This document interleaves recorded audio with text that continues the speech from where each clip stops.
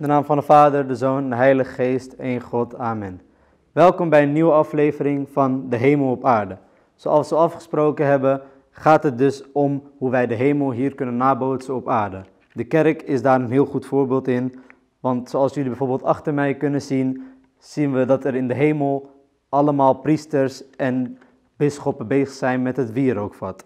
En dat is wat we hier op aarde ook terug kunnen zien in de liturgie, dat Abuna of de, de, de priester eigenlijk altijd bezig is met het wierookvat. Maar het wierookvat kan misschien een beetje lastig zijn en daarom gaan we vandaag alle componenten van het wierookvat uitleggen. En als we eigenlijk naar de oorzaak uh, kijken of naar de reden kijken waarom wij een wierookvat uh, gebruiken, kunnen we dat heel makkelijk terugzien in de Bijbel, bijvoorbeeld in Malachi hoofdstuk 1, vers 11. En daar staat, in elke plaats zal aan mijn naam een reukoffer gebracht worden. Dat stukje reuk, dat stukje reuk, dat zintuig van de reuk, dat is dus heel belangrijk. En we zullen verder in de aflevering zien waarom. De componenten van het wierookvat. Zoals we kijken ziet het wierookvat het misschien een beetje apart eruit, maar elke uh, component heeft een diepe betekenis die we moeten begrijpen. We zien hier drie snaren. Deze drie snaren die staan symbool voor de heilige drie-eenheid. De heilige drie-eenheid bestaat uit drie hypostasen, maar is uiteindelijk ook maar één God. En deze drie snaren die symboliseren dus de drie-eenheid, de Vader, de Zoon en de Heilige Geest. Om niet te vergeten dat het één God is, is er in het midden één snaar. En die ene snaar die hier uh, te vinden is, dat laat zien dat het, hoewel het drie hypostasen zijn, is het altijd één God. En vandaar ook de term drie-eenheid. Als we verder gaan in de Sharia of in het wierookvat, dan zien we van beneden een kolenhouder. Die kunnen we hier duidelijk zien. En in die kolenhouder, die kolenhouder heeft een belangrijke betekenis, namelijk de heilige maagd Maria. En we zullen verder zien waarom de heilige maagd Maria. Want in de kolenhouder worden de kolen bewaard. De kolen uh, die gebruikt worden tijdens de liturgie en tijdens eigenlijk elke dienst, die, vinden, die plaatsen wij in de kolenhouder.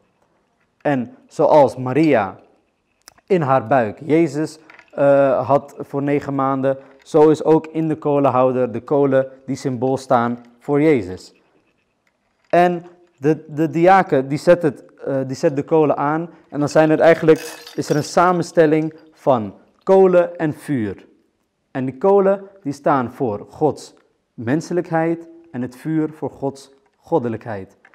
En hoewel dat twee aparte componenten zijn, vermengen ze samen tot één God. Ze zullen nooit samen één worden, dus het blijft apart vuur en apart kolen, maar ze vormen samen één aroma, één reuk en dat is de geur van Jezus.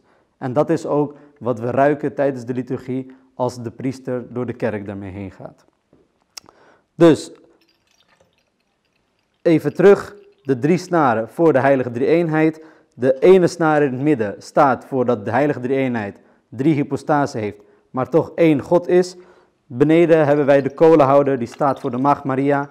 In haar buik, Jezus, die bestaat natuurlijk, die heeft een goddelijke, goddelijkheid en een menselijkheid. En dat, staat, zien we terug in de kolen, die eigenlijk samen met het vuur vermengd zijn. Boven de kolenhouder hebben we de koepel van het wierookvat.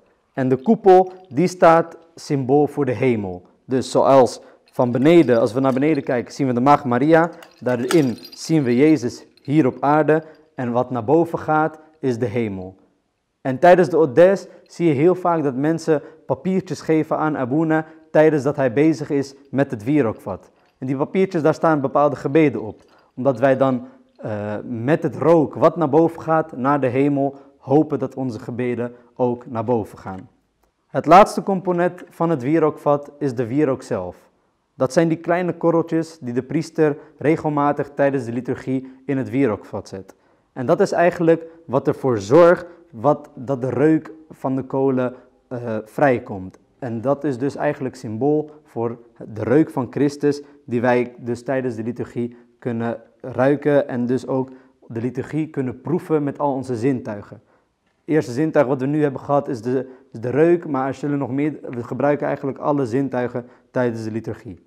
Dit was in een notendop uitleg van hoe het wierookvat eruit ziet en wat elk component betekent. Volgende keer gaan we verder met onze reis van de hemel op aarde. Hopelijk zien we jullie dan weer. Tot dan.